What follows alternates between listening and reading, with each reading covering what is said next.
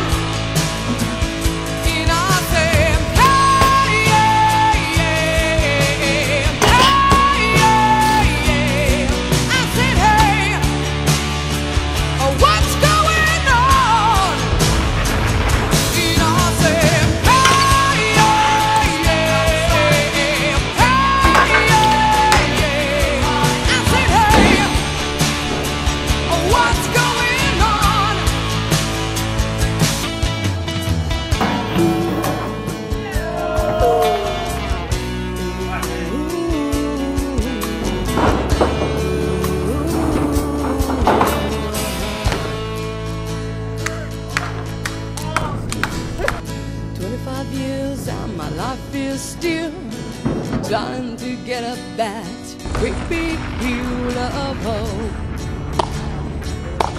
for a destination.